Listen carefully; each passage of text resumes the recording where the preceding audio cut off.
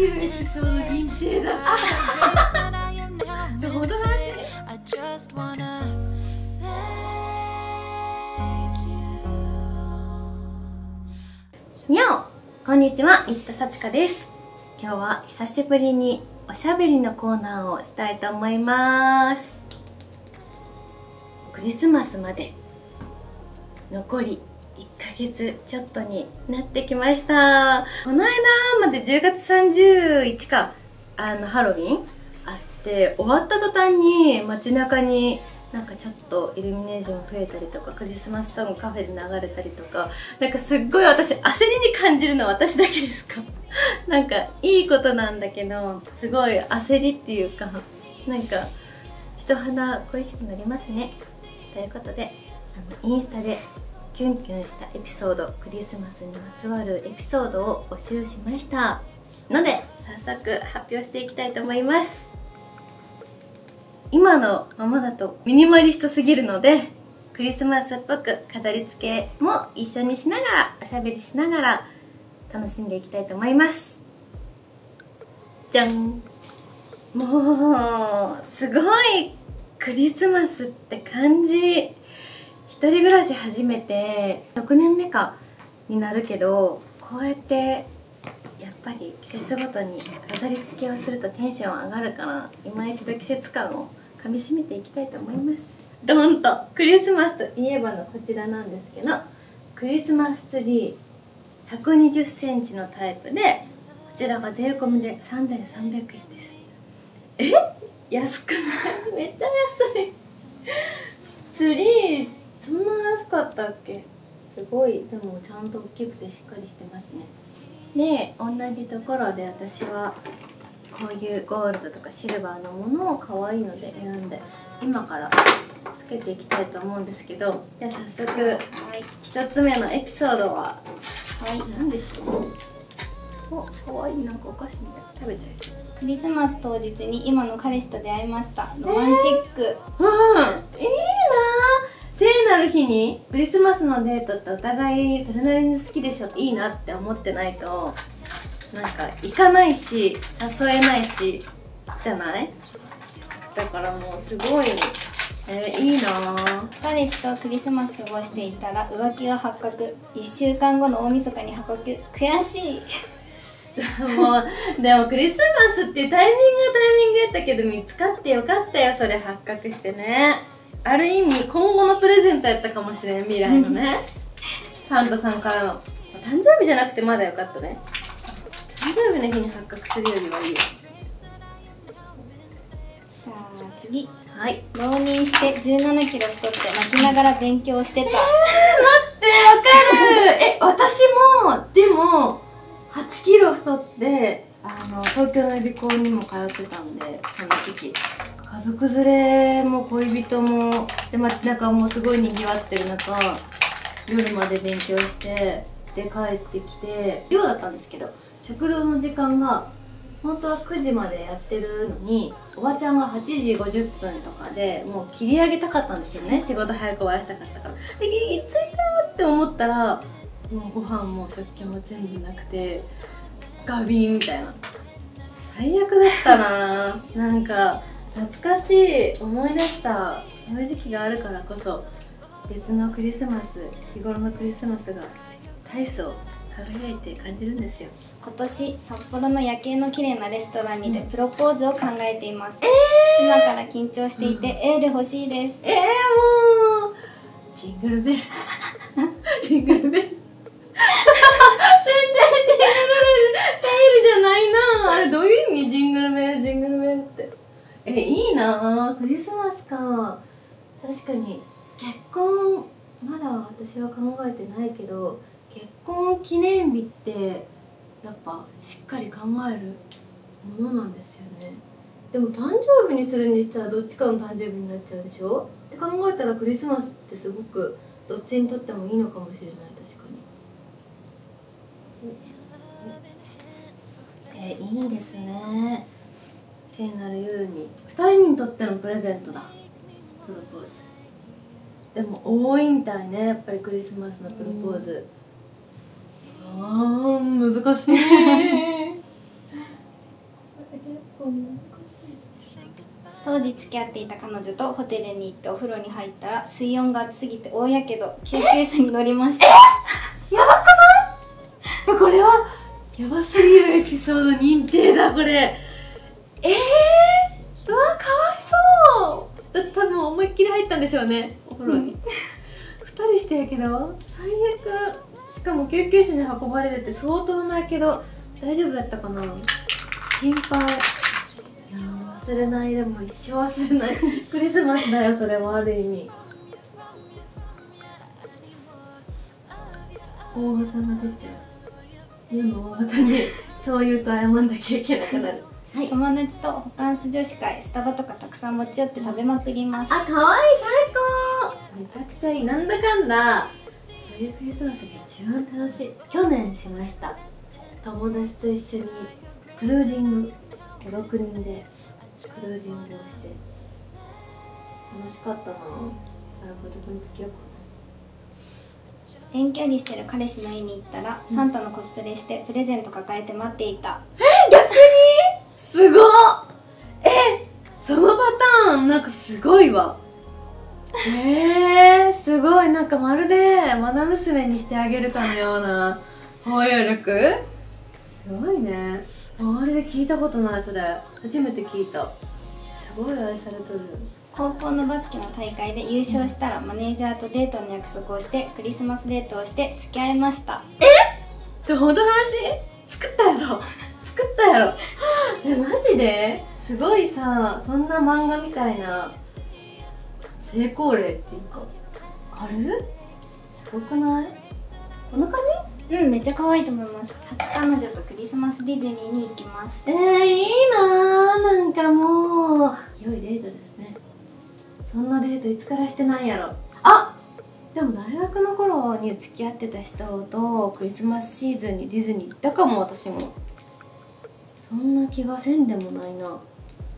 なんか寒い時期のデートって私好き。夏よりも冬のデート好きかも。あこれで結構いい感じになってきたのでつけたいと思いますてっぺん。あすごいシャンシャン言ってて可愛い下が。ね完成。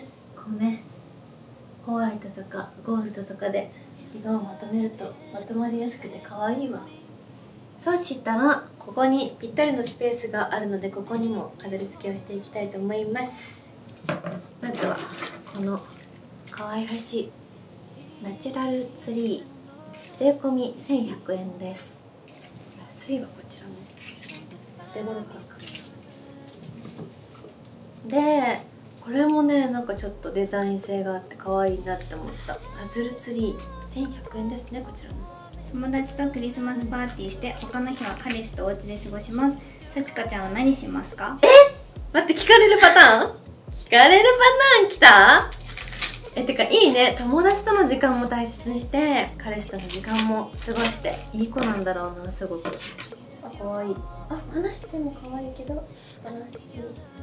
この辺かな。まだ予定がありません。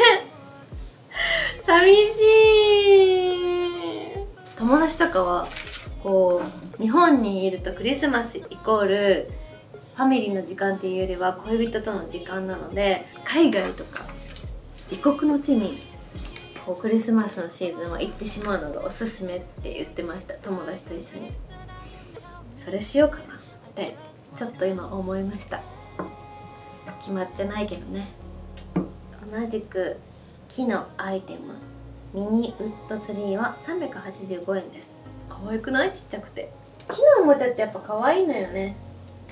引っ越しとイブが重なったことを伝えたら好きな人が手伝ってくれて一緒に過ごせました。えー、それいい。好きな人やろ？しかも付き合う前の。えめっちゃよくない？ええー、なんかあったかい話ですね。で結局その後はお付き合いしたのかどうなのか気になってしまうどうやってでもすごいいい思い出。はい続いてはこちらのキャンドル風ライト。こっち160円。かわいいね。なんか電気つけたら深みが出て大人のクリスマスっぽい感じになったね。いいねいいね。かわい。い男友達と2人でハイアット泊えー。館内でディナーに行ったらカップルやと勘違いされたでも今の時代やからね。全然勘違いされることもすることも間違いではないけど。でも間違えるかも。だってなかなか聞かんもん男友達と一緒にとか。女友達なら聞くけどねなかなかまだ聞かないかも男友達と一緒にホカンスでも素敵やねそれぐらい一緒に。何でも共有できる。友達プレゼント買ってたのにドタキャンされて次の日振られた。いやーいやーなんかね苦い経験あるよ私もそれ。ジンジャーブレッドにしました。クリスマスっぽく。毎年ジンジャーブレッドが出てくると。冬やなって。クリスマス来たなって思う。クリスマスディズニーでサプライズでミラコスタを連れて行きました。それが今の奥さんです。えー、なんかでもそれもいいねめちゃめちゃお手本のようなクリスマスの過ごし方じゃない？一生思い出になるね。私意外とミラコスタまだ泊まったことないです、あります？ないです。ない？なんか憧れるよね。憧れます。憧れるけど、は今どのタイミングで行っていいか分かんない。いいなねそれこそサプライズでやってもらうしかない。いいいかも。嬉しいよそれは、子供の頃サンタさんにサッカーのユニフォームをお願いしたら、うん。バカ殿の目覚まし時計が来ましたそのサンタさんセンス逆にいいかもしれない。いや私はその、まあ、サンタさんがサンタさんじゃないんじゃないかっていう思う時期ってまあ誰もがあるやん。その時期になんか本当は「なんとかさんねんろ」みたいな。言って。そしたらなんとかさんは違うよみたいな感じ。で別になんかそうやって思っとけばみたいな感じやって。でクリスマスやん。一応こう枕元にねあの靴下うん。置いといたけど何もなくて入ってなくて。で絶対にそのサンタさんってサンタさんじゃないやんって言ったせいやって思って昨日。でその日にどうしてもプレゼント欲しかったからやっぱサンタさんっておるんやね。私が信じんかったからあのなかったんやなって思ったみたいな。のを言って両親に。そしたら25日でも何でもない26日出勤日じゃないやろサンタさん。にあのちゃんとね朝入っとってプレゼント。いやらしくない？やつの親。本当にいやらしい。っていうのを思い出しました。はい。懐かしい。それも今や。クリぼっちです。一緒に過ごす？無理やり予定を作るか、まあ、それは別に友達でもこれからじゃあ1ヶ月弱で彼氏を作るでも彼女を作るでも。かもうクリぼっち市場の最大のネタを作りになんか寄稿する。かまあシンプルにいやあの彼氏彼女いらないスタイルなんでっていう感じでもう一日中好きなことに明け暮れる日にしちゃうとか。この3パターンじゃない？もう私クリスマス今日だったかも。はい。あそれもあり。なんか別にクリスマス同日にクリスマスじゃなくてもよくない？やること。バイト入れちゃうでも仕事入れちゃうでもいやちょっと仕事忙しくてクリスマスどころじゃなかったわ。でもいいと思うしね。そんな感じであっという間に完成しました。かわいいよ。この空間。なんかかわい本当に。素敵。一気に華やかになったね。一番最初のオープニング見てもらうと分かるけど。この今回揃えた商品はラコーレさんで集めました。かわいいね。しかもめちゃめちゃプチプラ。この今回のクリスマスのアイテムもそうやけど私あのお皿？美濃焼きがあったりとかもして結構最近よくチェックしてます。いいアイテムが揃ってますので。ぜひ皆さんもチェックしてみてください。はいということで最後まで聞いてくださってありがとうございました。このエピソード系もすごく楽しいのでまたいろいろ募集したいと思います。ぜひインスタとか他の SNS もチェックしてください。コメントもお待ちしてます。ではまた次の動画でお会いしましょう。ハッピークリスマス。バイバーイ。